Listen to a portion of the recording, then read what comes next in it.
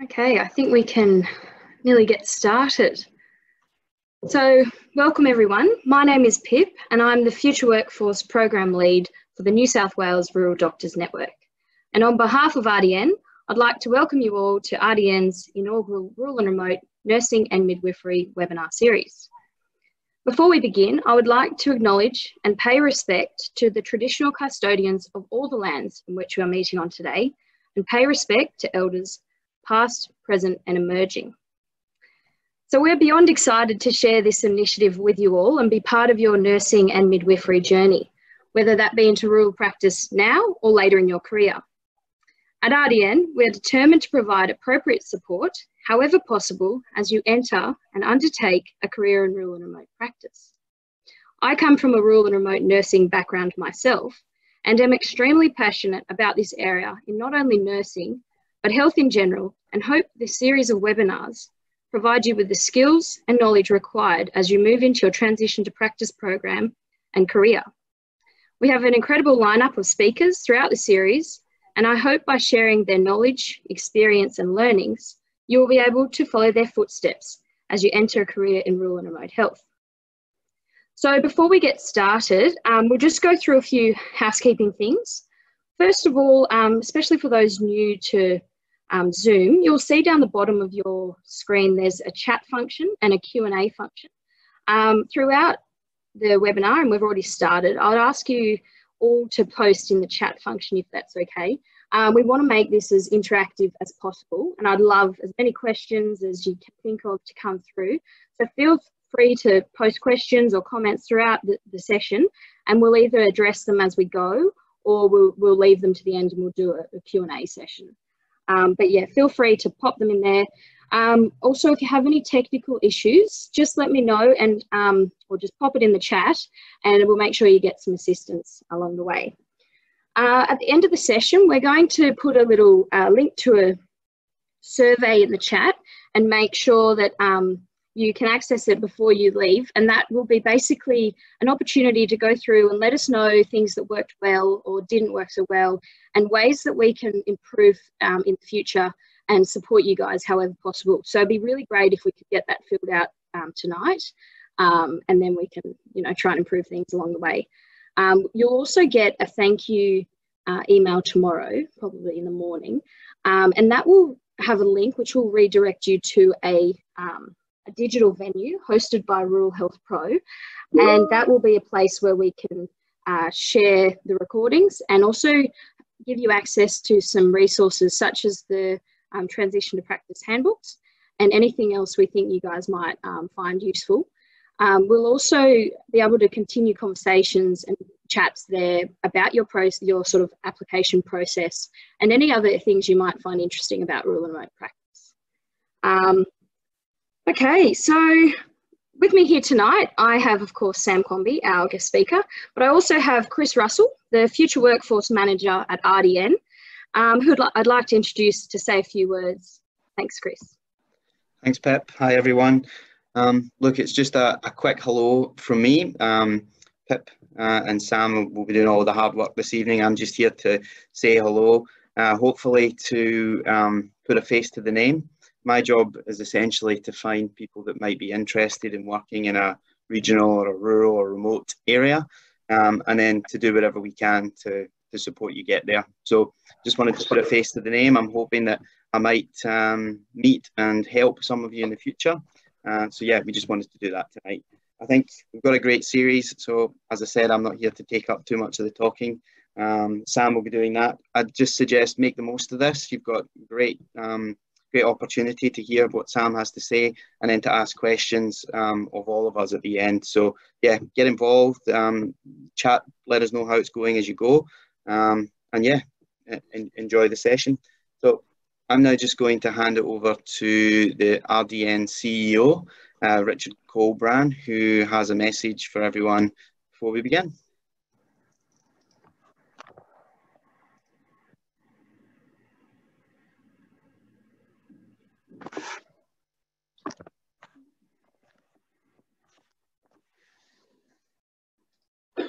Hello, my name is Richard Colbran and I'm the Chief Executive of the New South Wales Rural Doctors Network. Thanks so much for joining us uh, for our digital series on nursing and midwifery. We're thrilled to bring it to you and we hope you get to enjoy uh, this four-part series. Before we start, I'd just like to pay respect to the traditional owners of all the lands across New South Wales and Australia on which we meet through this digital venue and pay respects to elders past, present and emerging. And also just pay a very special um, thanks and acknowledgement to all of our Indigenous friends and colleagues who are involved in nursing and midwifery across the country. Over the last few months, RDN has worked hard to, to bring together a whole host of um, digital events relating to clinical topics and networking for our rural health professionals. And this series forms part of that.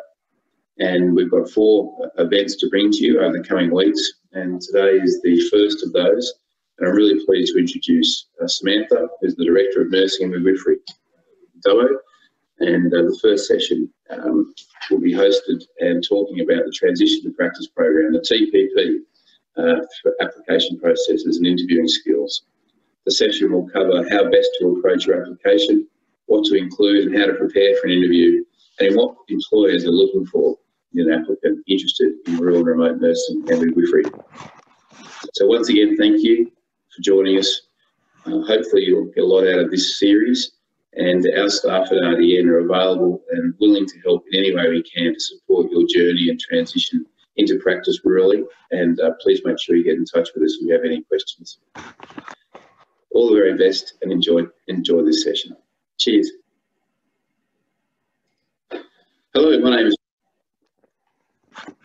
Okay, so it's with great pleasure that I introduce the first speaker of our series to you all tonight, Samantha Quamby. Sam is the Director of Nursing and Midwifery at Dubbo Health Service, a large rural referral hospital in central West New South Wales. Sam grew up in a small town in the central tablelands of New South Wales and commenced her nursing career at St Vincent's Hospital as a trainee enrolled nurse before completing her registered nursing degree through the University of Technology, Sydney. A new graduate position at Broken Hills provided Sam her first opportunity to work in rural and remote locations and witness the variety, complexity, and autonomy that rural nursing has to offer. Over the years, Rural nursing has never prevented Sam from being able to work in a diverse range of positions in small, medium, and large rural health facilities, including clinical nurse specialist, clinical nurse educator, after hours manager, disaster manager, student midwife, midwife, nurse unit manager, and deputy director of nursing roles. Sam is committed to providing excellent clinical care to rural patients as close to home as possible. Thank you, Sam. Uh, good evening, everyone. Uh, take the opportunity to share my screen and uh, bear with me um, while I do that. And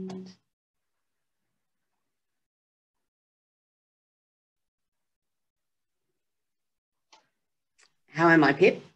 Yep, looks good from my end. I just also want to quickly remind everyone that we're recording this. So if you miss anything and we want to go back, um, it will be available. Excellent. So good evening, everyone. This is quite a, a new experience for me. Um, I've certainly spoken um, and educated in front of, of, groups before, but not sitting in my office uh, late of an evening now talking to my laptop. So um, I'm much more of a people person, but you know, I, I do um, I applaud the uh, Rural Doctors Network for the innovation in, in um, putting this together and uh, rural workforce, uh, not only as a, a, rural clinician, but as a director of nursing is something that I'm incredibly passionate about because I'm very much of the belief that rural, rural and remote patients deserve the same quality of care that um, our city counterparts um, receive every day. And, and um, part of that receiving that care is being able to um, to attract um, new new uh, workforce out here. So um, I look forward to having a chat with you guys tonight. This is a combination of my own personal experience um, and a, my experience as a, a director of nursing um, in regards to recruitment. So just a bit about myself. Um, I have been a rural nurse uh, since completing my new graduate program in Broken Hill um, quite some time ago now. Um, but to uh, let you all in on a little secret, I actually didn't receive my first uh, preference when I went through consortium um, at the end of my nursing degree. So um, life was not over for me, and it turned out that actually being sent to Broken Hill was one of the best experiences of my life um, from my nursing perspective. So um, I'm actually presenting on transition to practice tonight. And what we are going to be talking about is your application process and um, actually getting through an interview.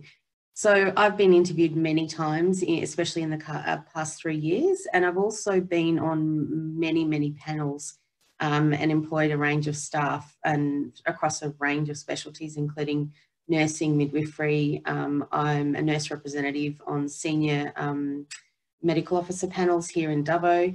Um, and I've been on allied health and, and health support panels. So um, I do have some experience in regards to um, uh, not only preparing my own applications, but actually reviewing applications um, and, and deciding on who we might transition to an interview. So now, just a note, all of these photos um, tonight, um, I like colour and I certainly like photography have either been um, sourced from places that I've worked or places that I've visited during my um, career. So if you don't have the desire to work rural, I guarantee you my intention is to make you want to work rural by the end of this. So um, that's the scene from Broken Hill for the first one. Okay, so the application process. So how to make sure that you actually get an interview. This is the foot in the door process. So in 2019, for our facility here in Dubbo, we had over 60 applications for 28 new graduate positions. Um, getting an application uh, through and writing the right application is the first step in getting noticed and securing yourself a position, um, whether that be as a new graduate uh, nurse or midwife, or whether that be into a student midwifery program, or perhaps you've, you've been working as a nurse for some time and you want to transition into a new area the application is really, really important. So how to write an application. So the first thing that everyone needs to remember is that first impressions really do count when writing an application. So my advice to you is make it count. Remember, even though uh, your colleagues at, at, university or your lecturers know you, um, potential employers don't know you. Uh, so your application needs to highlight what you're capable of, where your knowledge is and the experience that you have had um, and, and experiences that are relevant to the role. So my top tips for writing an application are to read the eligibility criteria, to ensure that you read the selection criteria and that you understand what each of the questions are asking. And when you understand that, ensure that you answer and address, that your answers address the whole question. Now, I've got some examples coming up that we're going to talk through in a moment, um, just to give you an idea on some of the things um, that we see as employers come across our desk for applications. And I want to highlight some really successful applications and, and answers and some of those that um, could have benefited from some more work. So during an application, what do we want to know? So there are a couple of things, and I've highlighted four words or terms here um, that are really important to me as someone who's reading an application. So the word current, so it seems really trivial, trivial these words, but they're really, really important. So current mean in an in a eligibility criterion application means that you need to show that you have current something. Now that might be current registration or current experience what we hear, what we want here are the facts. Um, so if they're asking for current experience or current registration, we would expect that you would provide evidence of that. Eligible. So when the word eligible appears in an application, it means to provide details that you're able to meet the requirements for registration. So for example, uh, we often uh, put advertisements out for um, midwives and we will open up the application for student midwives who are eligible to register. So those that are finishing their program need to provide evidence that they're eligible to register um, as a midwife prior to, to actually being um, employed. Evidence of means that we want to see evidence of your knowledge or evidence of your experience. So um, that usually requires some sort of example in your answer. Now, demonstrated. Now, this is probably the one word that is used the most often in an application and the one thing that um, really uh, pulls people up during an application. So demonstrated is one of the key areas that um, of applications that fall down because um, candidates often fail to understand what we're actually asking. So what we want is not only knowledge, but examples of your ability to translate that knowledge into practice. Um, and I'll talk a little bit more about that shortly. So I have a couple of um, examples here, a few slides of examples. So the first top example here is must have a class one driver's license. That, that's common. Um, and in the rural sector, that can be um, a, a, question that is very valid to ask. So in the first example right here at the top, you'll see that the applicant has written yes. So technically there's nothing wrong with that. However, below is a very simple answer that actually provides us with the evidence that they have that. I have blanked out the license number, um, but they have, yes, I do, and then provided us with the license number. So that is my preferred um, answer to that question. The next question, uh, the next section underneath, so number six, demonstrated effective clinical communication through the use of information technology um, is, a, is a very, very common uh, question in an application. Now, this is half of the answer. I couldn't actually screenshot the whole answer. But what we see here is the answer is detailed, but it fails to demonstrate anything. So what happens here is that people are desperate to get our attention, and that's awesome. Um, but what we don't see is their ability to translate knowledge into practice. So you need to remember that you may be one of 10, 20, 30 people going for a position. So we would encourage you not to copy and paste from a policy or um, ethics guidelines or from a website or from someone else's work because there has been multiple occasions where we'll get applications across our um, desk and we can see patterns emerging in the answers and that's usually due to the fact that they've almost word for word actually provided us with the policy statement or the um, practice standard. So providing us with some knowledge is awesome, but we need that demonstrated. So one of the scenarios that I use when I um, talk to people on my panels is that I can um, provide you with knowledge around how to fly an aeroplane, for example. I can provide you with basic aerodynamical aerodynamics and instructions on how to take off in an aeroplane. But it doesn't mean that I'm capable of doing that. So what we want to see is we want to see registered nurses and registered midwives, students or otherwise, show us that they know, but that they also can demonstrate that they know. So demonstrated is one of the areas, and I've got some really good examples coming up to show you what, what we really enjoy seeing. Before I get to that one, um, the top one here, recent clinical experience in critical care. So this was an advertisement that we recently had out looking for staff to work in our ever expanding brand new multi-million dollar, yes, I am plugging Dubbo right now, um, intensive care service. Um, unfortunately, this applicant has written nil experience in critical care the honesty I completely admire. But this is a two-part question. Um, so recent clinical experience in critical care is the first part. And the second part is joined by the and, commitment to quality improvement, practice development and evidence-based practice. So a really clever thing to do if you are in this situation is to acknowledge that you don't have the critical care experience. Tell us how you might have tried to obtain it. So you may have done online learning. You may have done some training through RDN or through HETI or um, some external services, but you've also committed to quality improvement, practice development and evidence-based practice. So leave us with a, with a positive thought because sometimes that's enough to get your application through. The next one down here is an example, an excellent example that I've pulled this afternoon of how to show demonstration.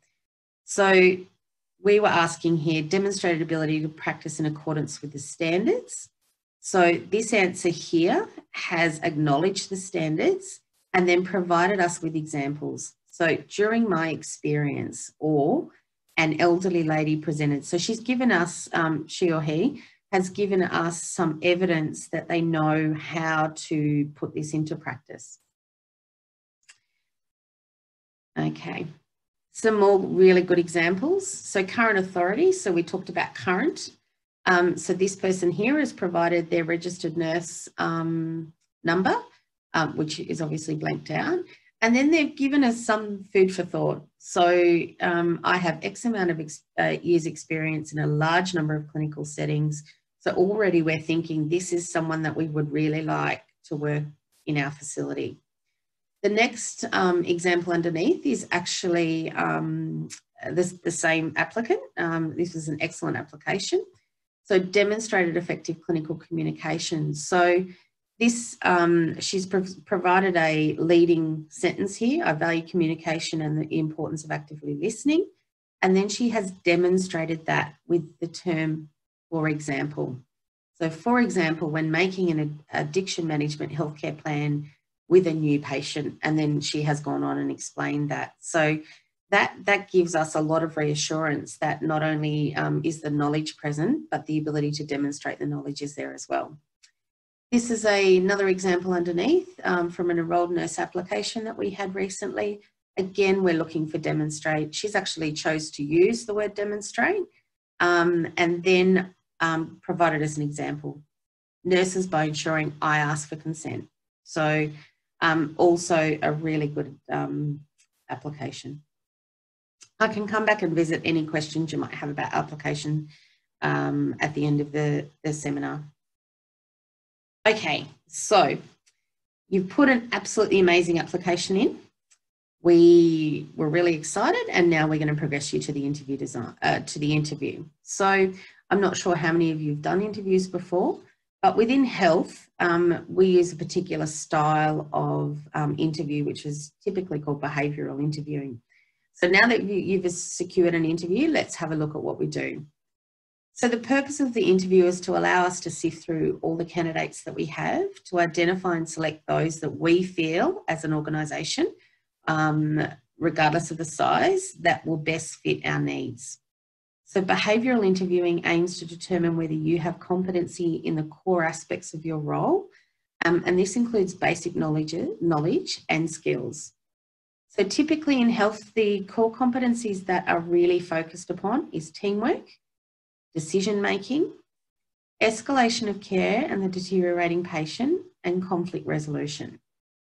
As an interviewer, I will be always looking for evidence of examples of past behaviour that show me that you have that core knowledge and that the competence is there.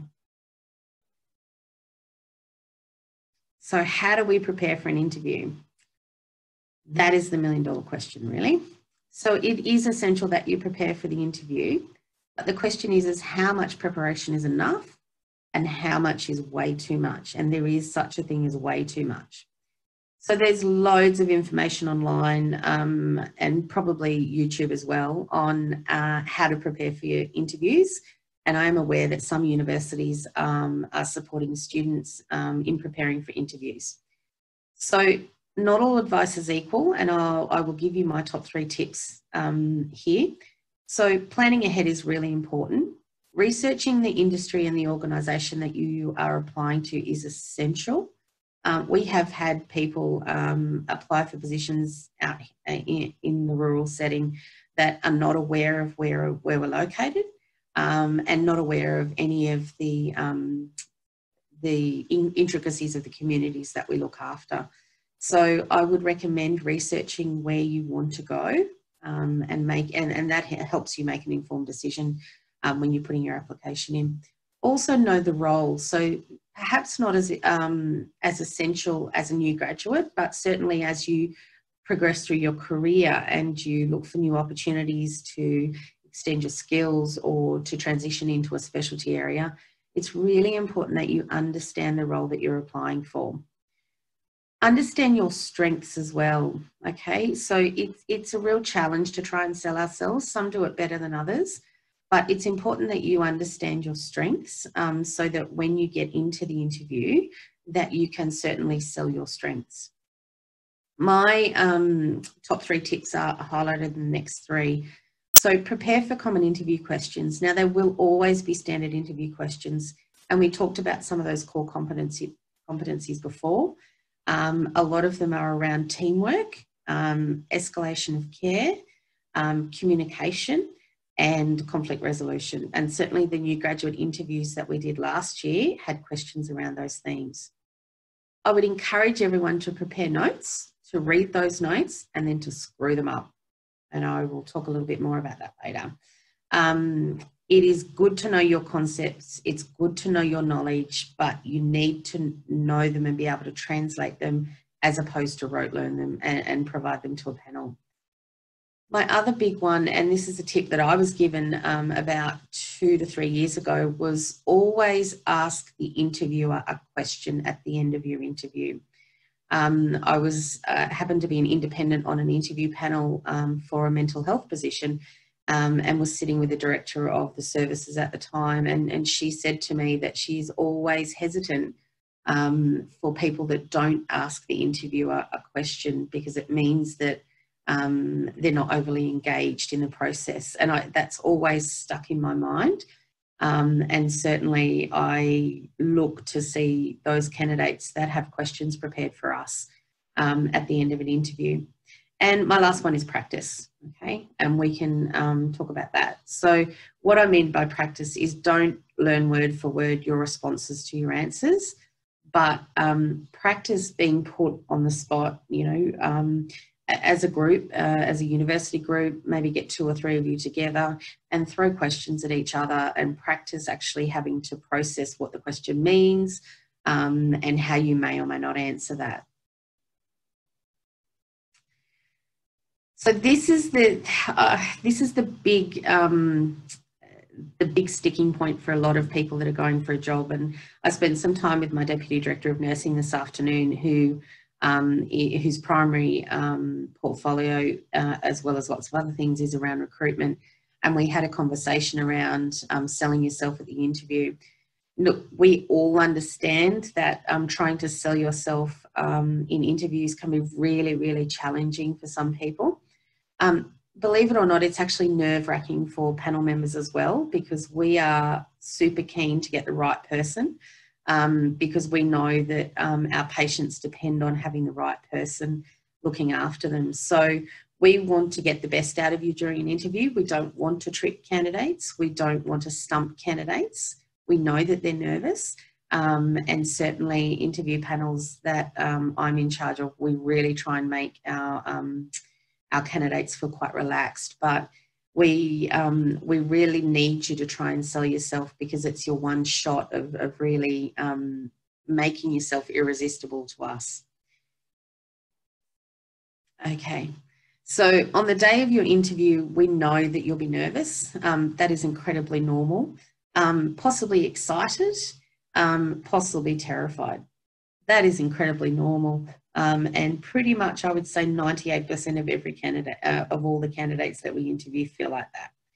So, what I would suggest is dress to impress. Um, it, it sounds traditional, it sounds old fashioned, but what we want to see is people that really value the opportunity to interview for the job and take pride in the fact that they've been given that opportunity.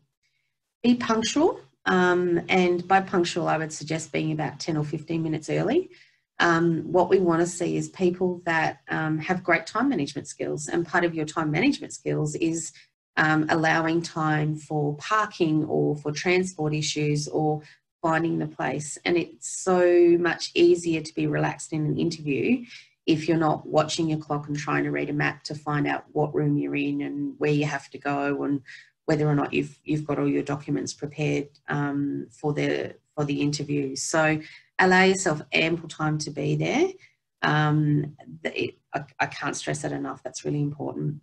Be confident and keep cool. Um, we want to see that you are able to cope under stress. That that's the essence of nursing and midwifery.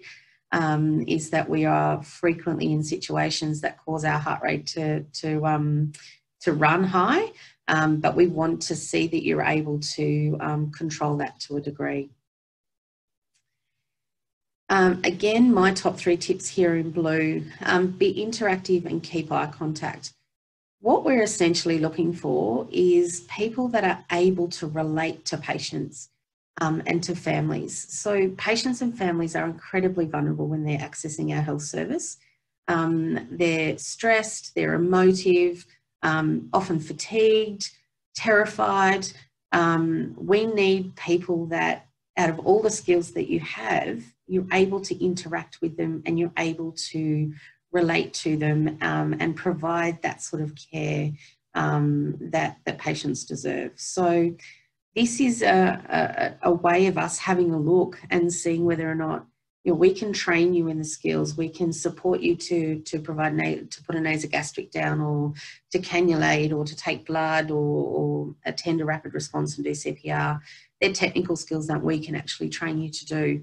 What we want to see is that there's an inbuilt um, ability for you to actually interact with people that you don't know, because that's the essence of nursing and midwifery.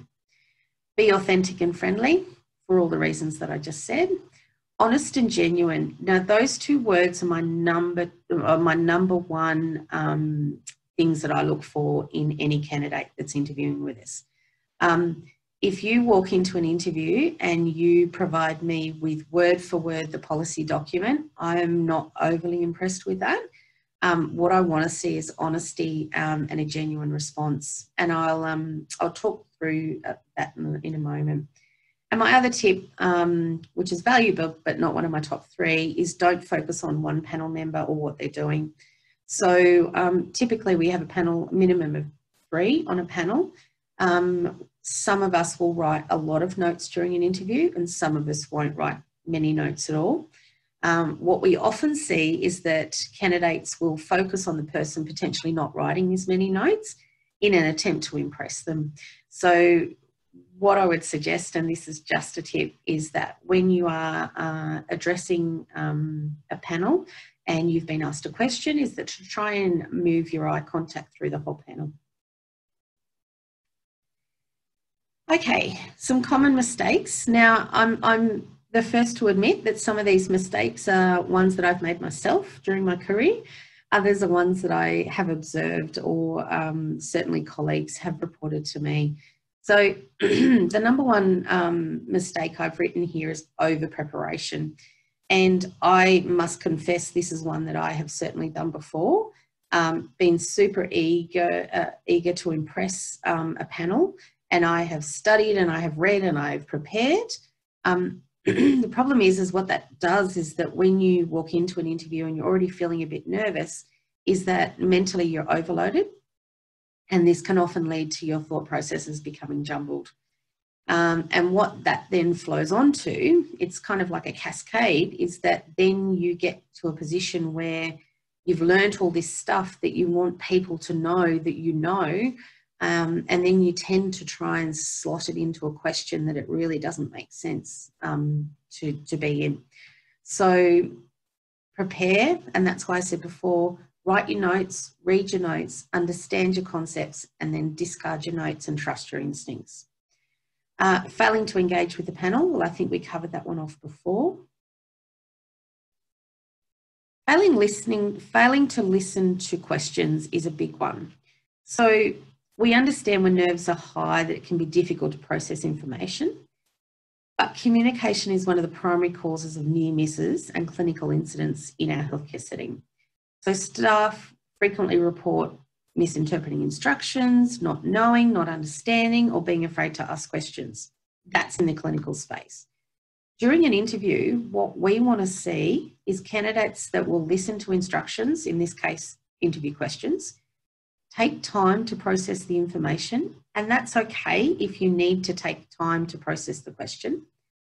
Ask questions to clarify. If in doubt, ask and provide a response that's appropriate for your position.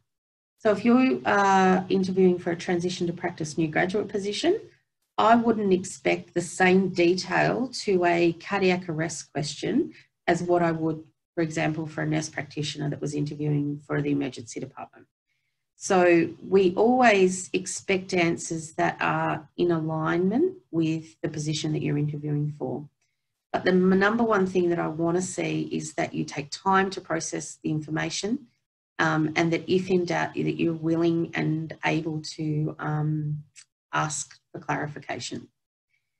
The other thing is um, only answering part of the question. So often questions will have two parts. Um, sometimes we lose the second part whilst answering the first.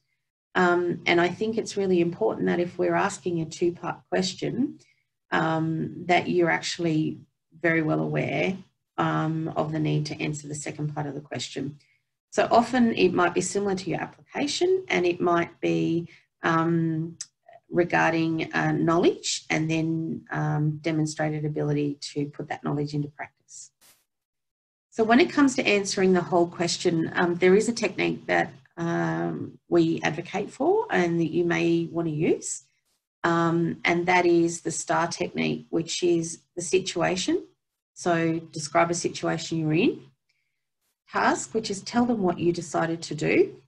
Action, which is describe what you actually did. And result, which is tell them what happened as a result of your actions. Now, this doesn't have to be um, a light bulb moment or a moment in which you saved a life. It might actually be an event where um, your actions didn't fit the situation, and the result may actually be that you reflected um, on your practice, that you researched, that you spent time with your educator, um, that you looked at some policies and procedures. So, for example, um, a question might be um, New South Wales Health expects staff to adhere to core values. When have you used the core values in your nurse experience uh, in your nursing experience? So you might choose to open the answer of uh, the answer with um, identifying what the core values are. So collaboration, openness, respect, and empowerment. We get that thrown at us every single interview, um, which is great. It means people know what it is. But what we want to see is that they use it in their practice. So using the STAR technique, what you could actually say is um, there was a patient that I was looking after as a student nurse or as a student midwife um, who was due to have an operation but had lots of questions and didn't understand the operation. So, task um, what did you decide to do? You may actually say, so I recognise that this um, was an important issue to address because um, this may mean that consent was not informed. Action, describe what you did. So you could tell us that you notified the registered nurse in charge or the nurse unit manager of the ward, and then the results. So we would like to um, hear and understand what actually happened from that. And so the results might be, in this example, that the surgical registrar came and spent time with the patient um, and went through um, and re-signed the consent form. So that's an example of taking the core values, which is in this case, empowerment and openness. So um, we've empowered the patient by in, um, providing them with um, uh, more access to information and ensuring that their consent is, in, is um, informed. Um, and openness in the sense that we're, we are looking at open communication um, and collaboration between teams. Okay, so you've got through all the questions, you've taken a big deep breath, um, you've had a sip of water, and everyone has told you, okay, that's it for our questions now. Do you have any questions for us? Now, this is the bit where you all say, absolutely, I do. Okay. So, what do you say when it's your turn to ask questions? Most candidates are thinking, oh my God, I actually got through that and I'm alive. Um, and most panel members at this point are going, oh my God, I hope they don't ask us any questions because what if I don't know the answer? Um, but what we would love to hear, and we always love to hear, is questions from our candidates. So I've given you a couple here that um, I love to hear. Um, and these are some of the ones that were asked from successful um, students last year that are, are, now currently doing their um, new graduate program with us. So some of the examples, and you may have more, and I welcome and I look forward perhaps at the end of the year to hearing some of them, um, might be what prospects are there uh, for personal and professional development within your facility? Um, what are the facility plans for the future? Um, what do you like best about working for health or this hospital? Um, and what opportunities are there to specialise or remain within your facility, wherever that may be, after completing the new graduate program. All of these questions show us that we have a candidate that's interested in not only our facility but our community. Um, and that's really, really important in rural and remote nursing. Um, the lines between um, work and community are not the same as what they are in a metro setting. Um, and we really hold quite dear to us that, that connection that we have with our community. So what we want to see is candidates that are interested in working for us um, and interested in um, becoming part of our facility and our wider community. So come up with some great questions of your own. Um, we would certainly be really excited to hear from them. Okay. I've popped an extra slide in here um, because I don't know if any of you are aware, but there's been this little thing called COVID-19 this year. Um, it has certainly been keeping us well and truly occupied, even out here in the um, in the bush. But um, we obviously are very aware that this may change the way in which you progress to have your interviews um, later in the year. So interviewing online can be quite challenging. Um, I certainly um, am empathising with you all right now because I'm sitting in my office talking to a computer screen. so there may be some different challenges that you'll face this year. So recommendations for interviewing online, and we do do um, online interviews occasionally, uh, would be to do an equipment check and make sure your computer or your phone is fully charged. I have sat through several um, interviews where there has just been constant IT malfunctions, um, and sometimes that's due to the fact that the candidate has not adequately prepared for the interview. Ensure that your lighting is um, suitable so that we can actually see you. Um, body language is um, something that most panel members will pick up on. Um, and, and it's something that we certainly, as nurses and midwives, we are um, taught to uh, interact and, and to be very well aware of the, the body language signals that our patients um, and family will give us. Make sure your surroundings are appropriate. I think we've seen some amazing things um, since COVID and Zoom meetings and working from home um, of, of people walking past behind you wearing potentially inappropriate outfits. Um, so it's really important that you're in a nice quiet space that you may, you know, you're not going to get interrupted um, and that you've got time to be in a really good headspace because you're not being distracted. Um, still dress to impress, at least from the waist up. Um, you can wear your pajama bottoms underneath um, but still make that effort and show that you're show your panel members that you you're genuinely interested in working for them. Um, maintain eye contact and speak into the microphone. Uh, I have that down as a tip, but I must say that's a real challenge. Certainly, sitting here tonight, um, speaking to myself, uh, and and hopefully um, having you all listen. So I understand that that can be a challenge. And remember that there may be a delay in transmission depending on the, in, the internet connection. So allow for pauses. Um, and hopefully I've done that tonight. Otherwise, I'm not really good. Okay, so in summary, the interview is an opportunity to showcase what you know and what you're capable of. Your application gets your foot in the door.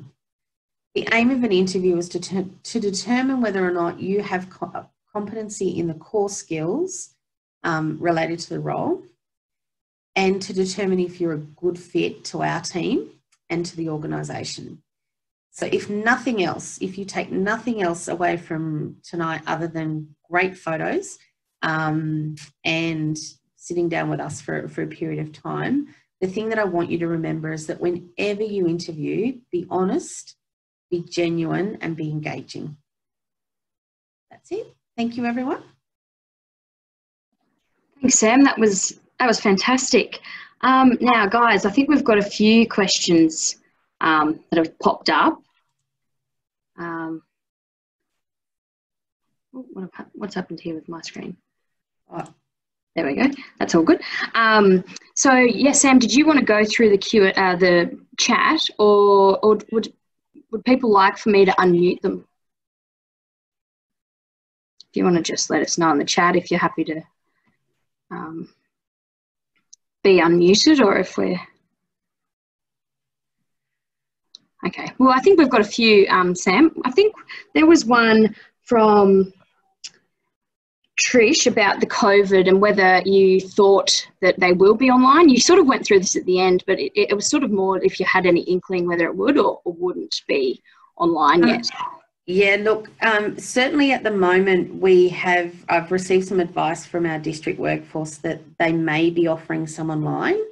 Um, I, think we would be more than capable of doing the social distancing and certainly there's a change um, in our organisation around face-to-face meetings and that sort of stuff. Um, so I, I, would hope I, am I'm, I'm a face-to-face sort of person. Um, I I would hope that we would still be able to make some adjustments and, and be face-to-face, but I'm not sure on what the ministry has decided on that. Cool. That's great. Yeah, I think be one of those things we'll just wait around. Is that answering your question, Trish? Yeah, cool. Um, now, Vicky, you had a few questions. I'll just scroll up.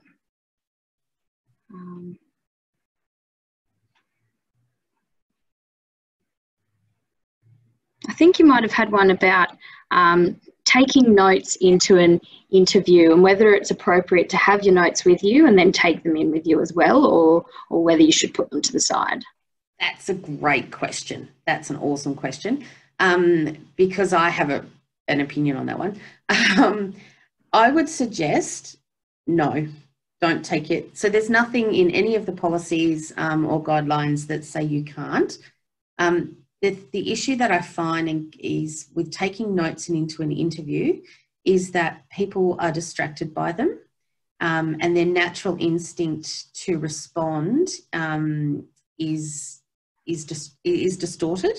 Um, so recently, um, I interviewed for a nurse manager um, position in our facility, and um, I had two being interviewed. Um, and this candidate, who I knew was an exceptional nurse, had done so much preparation. She was amazing. Um, brought her notes into the interview and really got distracted by the need to provide the information um, and was an un- unsuccessful candidate. So um, we had some feedback after that interview, her and I, and um, she re-interviewed again for um, a, the same position, um, and this time came in very genuine, very honest, um, and relied on her own knowledge and instincts, and she absolutely blitzed it. So my advice, and this is a, a personal and professional advice, is not to take notes into an interview um, because yes, we've got policies and procedures in our clinical spaces to work from, but a lot of the time we are working um, based on the knowledge that we have and the instinct that we have. And, and if you get a question um, that absolutely stumps you during an interview, it's okay to say, I'm not certain on how to answer that question. I've not come across that situation before. However, um, what I would do is that I would talk to my clinical nurse educator. I would look at um, on the intranet for policy and procedure. I would ask my clinical mentor or my NUM, or I would escalate the situation to one of the medical officers. So, again, um, there are ways of actually um, navigating through questions that you don't understand, but I wouldn't recommend taking notes into interviews. Yeah, cool. Okay, I think Vicky also had another question about will um, will the interviews always be on a panel, or um, and and if so, how many people usually sit on that panel? Yeah, so the interviews are on a panel, and that's around um, fairness um, and transparency. Um, so, and and I certainly won't back myself into a corner of being the only person decide to decide on um, employment. So usually it's three. There has to be a job expert, um, a convener, so the person that's in, in charge of the panel, and an independent as a minimum. So you may get panels, it depends on the position that you're going for. Um, I have sat on panels of up to five, um, and um, that usually comes down to um, some different intricacies with positions, but at a minimum, there should be three for permanent employment. Cool. Okay. Um, now we have a question from Amy here about um, do we apply through New South Wales Health um, for a postgrad position or do we go through a separate application? Um, uh, that oh, sorry, a bit new grad, I would imagine. New grad or post grad. I think maybe you mean new, new grad. Yeah, new grad position. Um, New South Wales Health um, is my understanding. Um, and that, well, when I did it was certainly called Consortium. Um, and I would imagine that you would go to the New South Wales Health website and that will open shortly. Cool. And I can just add to that if you have a specific interest in primary healthcare, for instance, I think there may be a um, transition to practice sort of application through APNA as well, and that will be in your resource on the um, the digital venue, which you'll get the link to tomorrow. Okay, so another one here about interstate applications being online in person. I'm sure that's sort of similar to to anyone, but is there any exceptions to someone who is interstate, whether they can do it online even if they are going to be in person? Uh, do you mean the application or the interview? The, sorry, the interview. I'm imagining, yeah. So, um, if you're an interstate candidate, if you are in Perth or Broome um, and you're applying for a position at Bourke, for example, um, there's no reason why we couldn't do an online interview. However, the um, caveat I would say around that is that I think it's really important that if you're applying for a position somewhere, that you know where you're going um, and that you take some time to potentially go and see the facility um, and and have a look around. I think that's really important as well. That's a tricky one. Cool, thank you. Um, so when do the interviews occur usually, Sam? We've got a question here from. Yep. So um, August was when we were doing them last year. Um, I am well aware of the fact that COVID has delayed that, and I believe it's until September. Okay, cool. All right, I'm just scrolling through.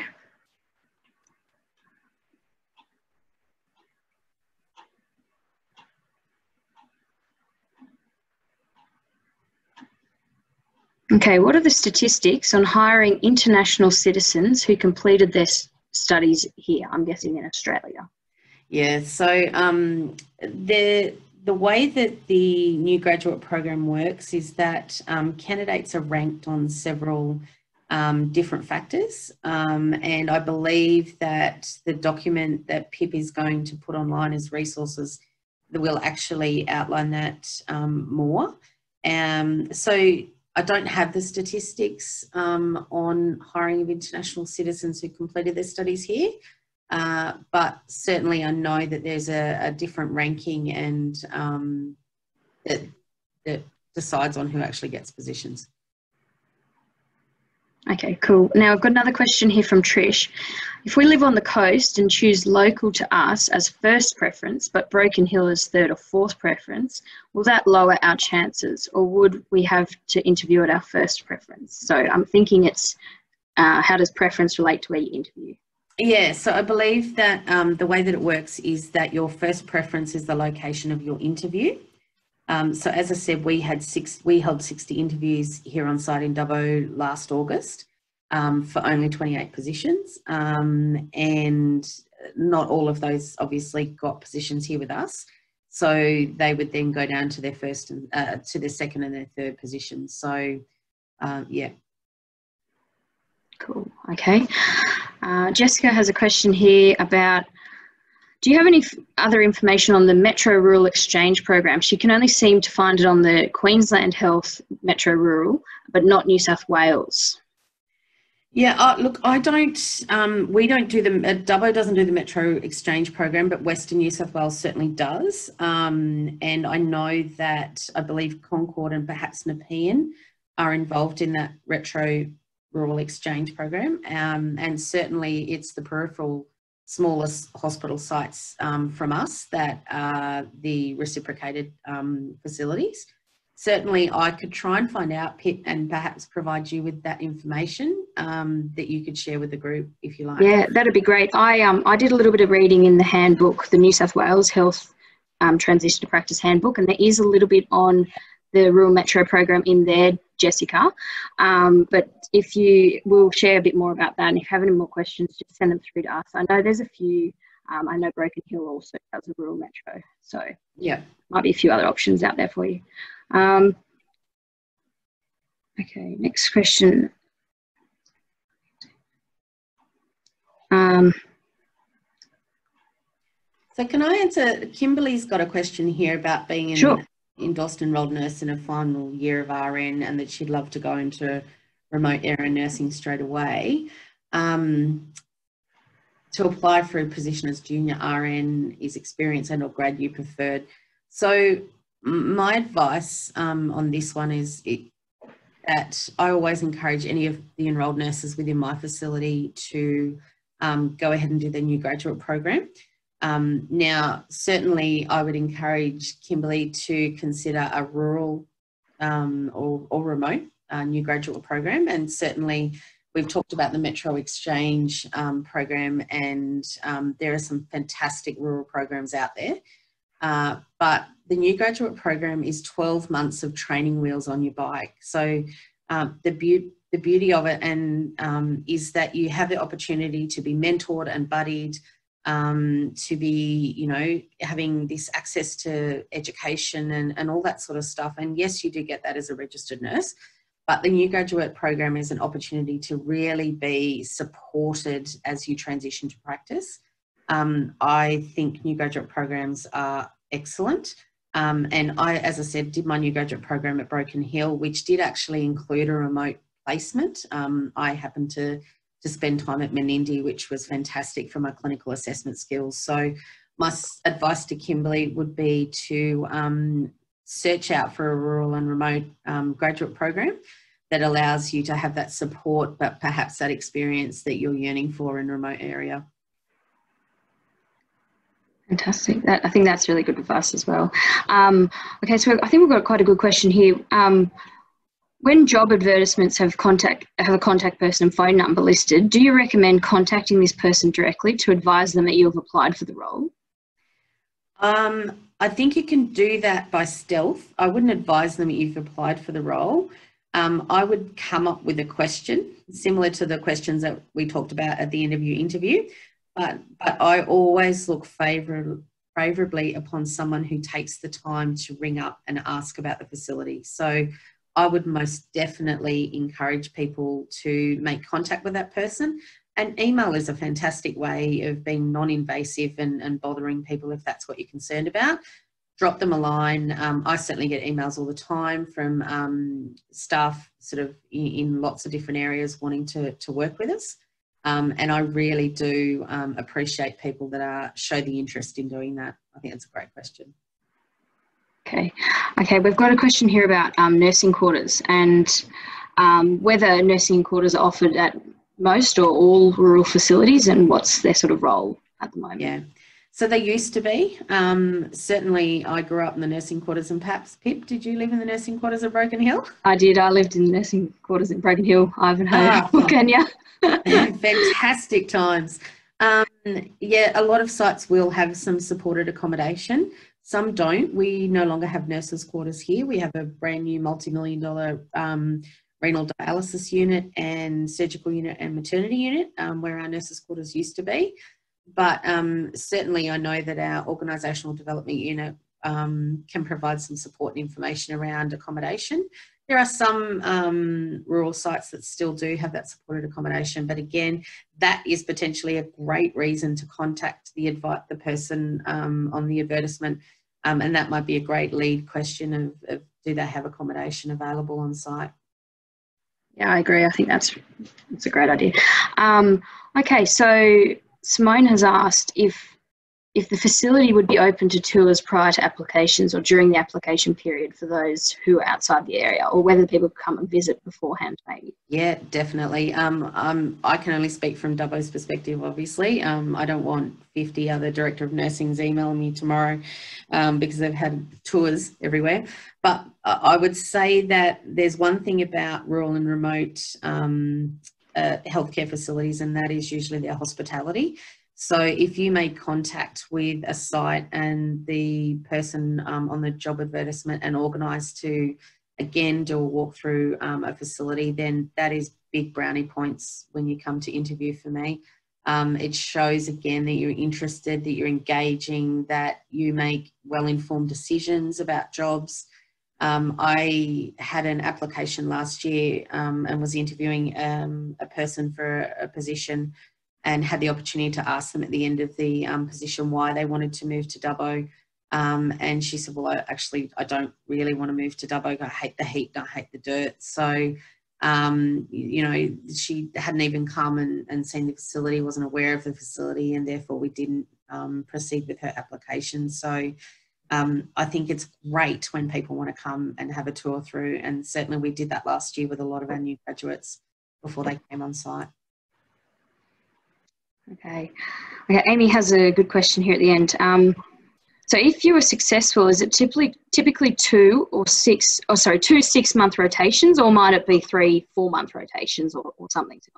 Yeah, so that varies um, across uh, a lot of the LHDs, the local health um, districts, and um, a lot of the sites. Uh, again, speaking from Dubbo's perspective, we do two six month rotations. Um, typically, uh, we will do um, a general area in the first rotation. So that would be general medical, general surgical, um, extended day surgery. Uh, we do offer first rotations into theatre.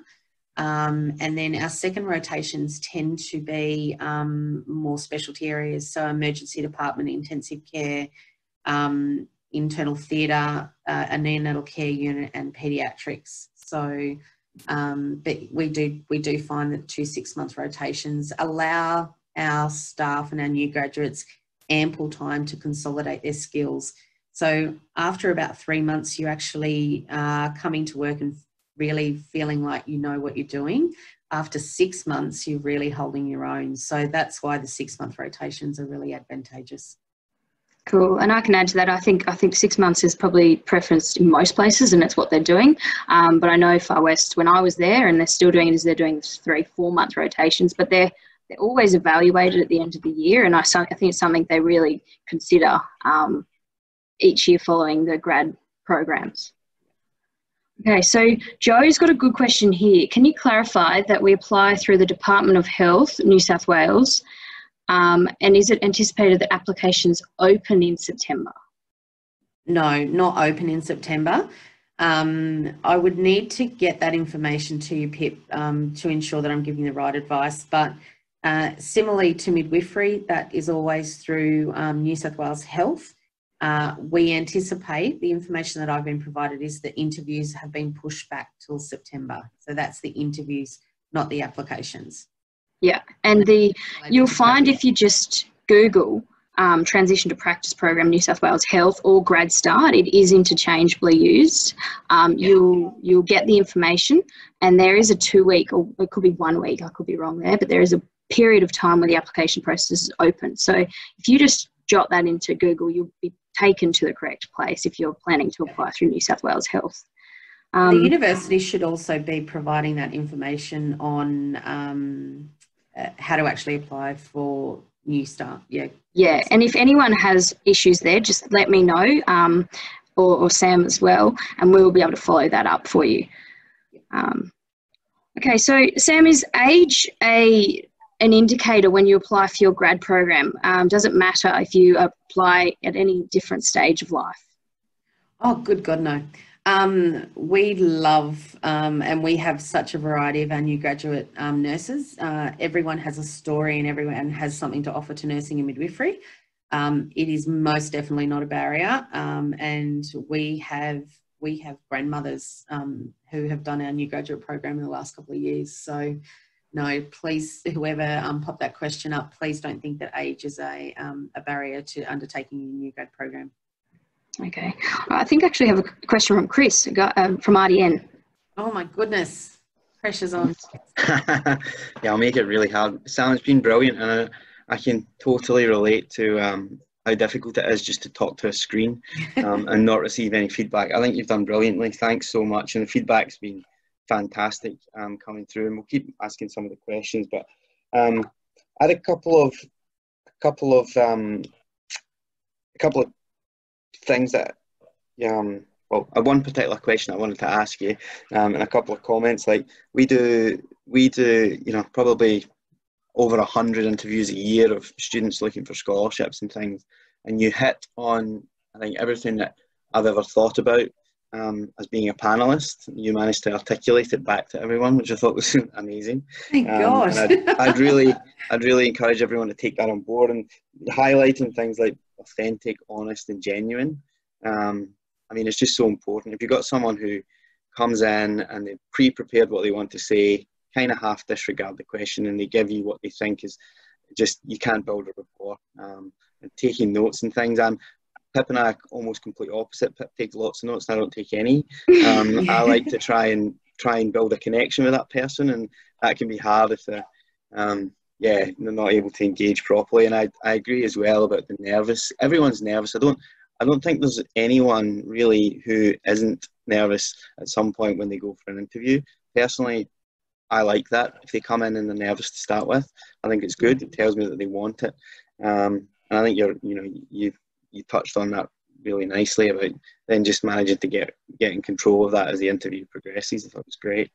Um, my question is um, more of the rural focus, and we've got a webinar series over the next five weeks. We're going to have great people talking about their experiences. So I'd encourage those that are online tonight, um, if you if you're interested, that to come back um, over the next few weeks. But what is it that you you know you, you talked about how you, you, you love it um, you love working in um, rurally what is it from the work perspective in a couple of minutes and, and maybe the lifestyle perspective that, that, that you love and, and that you think makes um, makes for a successful um, rural nurse uh, look, um, so I grew up rurally, um, and so I know the value of country life. Um, I know that the community is um, is so supportive of health in in this setting, and and we have seen some amazing stories in the last couple of months.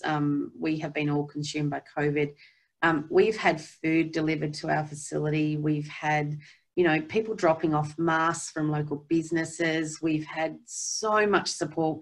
We, we've had elderly couples come in and drop cards off. We've had preschools um, you know, doing drawings for us that we've got on display. You know, there is a real sense of connection between our community um, and our and our staff. Um, look, for me, it, it's about the fact that people deserve the care. Um, and they deserve the quality care and they deserve to have care closest to home um, as as possible and and you know, I, I laugh about some of the media that, that's been out and about recently around some um, issues in the city with healthcare and people having to travel an hour for specialist services. We've got people that, that travel three hours a day, um, you know, a couple of times a week for dialysis. And, you, you want to define resilience, then you need to come and see what it's like to look after to look after rural patients. You know, I, I've I remember seeing patients in the emergency department at Broken Hill that had um, you know fractured their ankle sideways, slipping down a riverbank, driven a couple of hours to come in, not wanting to bother the RFDS because they're really busy. You know, in so much pain, nothing is a hassle for them, and it just blows my mind every single day. Um, and the lifestyle I've got I've got two kids um, you know we we we walk we we walk along the river. Um, they're, they're in a, a, school where they're important um, because of the size of, of their school um, you know I'll, i connect as a midwife you know can walk down the street and and see people that I, I have worked with in a birth suite and, and um, helped them um, deliver their babies and, and, and, that connection and that pride of, of knowing that I've made a difference and, and down, you know, some years down the track still remain a memory in, in their life. And that's such a privilege, um, both in good times and bad times. I mean, you know, it, and the opportunities that I've had, I would never have had in, in a metro. And Pip and I were speaking the other day as a new grad nurse um, I had an opportunity in emergency department to work with a surgeon to put an intercostal um, drain in um, and actually scrub up and feel the anatomy and, and, and, and, just things that I would never have had a chance in, in my um, 20 odd years of nursing to do if I hadn't been working rurally. Brilliant. Thanks very much, Sam. That was that was a great answer. Um, I'll hand back to Pip in a sec. And also, there's um, can you get a good coffee in Dubbo? Yeah, absolutely. absolutely. We get great coffee in Dubbo. And we press, press with the baby rhino, or with the baby hippopotamus. So Exactly. Um, Exactly. No, I'm a big coffee person, and um, I always look forward to going to Dubbo because I know that there's some fantastic cafes out there. Um, we've got, there is. I'm just about to pop a link into the chat that I hope will come through as a link. Let me know. While you're doing that, Chris, um, is there anything different, Sam, about the midwifery rotations to the nursing rotations? I think someone, Rentar, may have commented that in the chat earlier. A- a- As a new graduate or as a Yeah, as a new as a new grad. Yeah, no. So um, we don't um, do rotations as such as new graduate midwives. Um, we have a quite a decent sized maternity unit here. It's um, the largest maternity unit between basically um, Blue Mountains and Adelaide.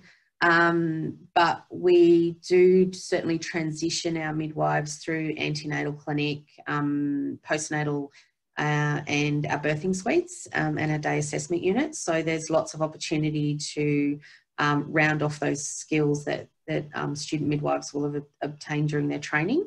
We are a level five maternity um, service with a level four nursery, which um, also then offers midwives an opportunity to actually work in the neonatal care unit as well. Um, so we don't have structured rotations um, similar to the new grad program, but we certainly do offer um, a transition to practice with that support, but probably not as structured as what the new graduate program is. Okay, yeah, and that would probably vary depending on where you do your program. Rurally, Absolutely, and where your preference is, and that's the beauty of midwifery is that you you may decide to be community based or antenatal, maybe your specialty, or birth suite, or you want to be a well rounded midwife that that's capable of working and, and and working across all those areas. So again, opportunity is there. Cool. Okay, so someone has asked that if they're applying to their hometown where they may have lived their whole life and they know the questions about what the community's like and they know what the hospital's like, how do they show their interest in the in the interview and how do they develop a point of difference, I guess? by being honest and being genuine um, and being engaging. So, irrespective of where you grew up, um, we we won't consider that hometown is, is an advantage. In fact, it may sometimes be a disadvantage. But all we are asking for is genuine staff, because if you you present your genuine self to us, then we have a lot of confidence that even if you may not have remembered every single step um, uh, of your basic life support that you uh, you can work with us to um, to enhance your knowledge and your skills. So that that is as simple as my reply would be. Be honest. Yeah, and I agree with that. So Lisa has asked, do you have MGP at Dubbo Hospital? Um, we have a form of midwifery group practice here at Dubbo. We have a continuity of care model, um, which doesn't include birthing. So they provide continuity of care through the antenatal period and then into the postnatal period. We also have maternity in the home, um, which is obviously the midwifery version of hospital in the home. Uh, which provides um, care to women, um, especially vulnerable women and bubs, um, in their home for up to 10 days until Child and Family Health engage with them. And we also have um, Aboriginal maternal services here. So we have, um, yeah, a great Aboriginal um, maternals, yeah, midwives. Okay, okay, cool. Um, now we've sort of gone through this, but um, if you you moving to rural areas and there's so much about lifestyle, that's great. What about if you're a mother to young children, or maybe a Even father better. to children? Even better. It's a great place to bring up kids.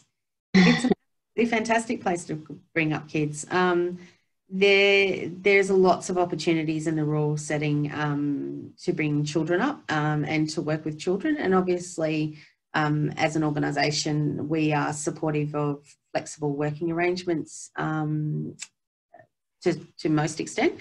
Um, so we we have a lot of staff that have got children. We have a lot of new graduates that um, are mums of kids of varying ages. But it is certainly a great place. The schools, the sport, um, the opportunity for outdoor activities. Um, yeah, the, it's a great place to bring up kids. Yeah. Okay, so we'll probably have to wrap up in a minute. I just see one more question that could be quite good, but um, if you have any more quick questions, put them in and we'll get, we'll get to them. But so if you're looking to do um, your, your grad program in a rural area, would you also recommend doing your uh, post grad in midwifery to be sort of better in these rural and remote communities? Um, that's a tricky one. Uh, it depends on what your long term plan is. So, I did midwifery um, about 18 years into my um, nursing career. Um, I specialised initially in emergency nursing, um, and then I decided to round off my skills um, as I was doing sort of after hours hospital management, and I felt very vulnerable in the midwifery area. Best career decision of my life. I loved every moment of it if you were going remote, then I would say that it was certainly um, a massive um, attribute to be a midwife also.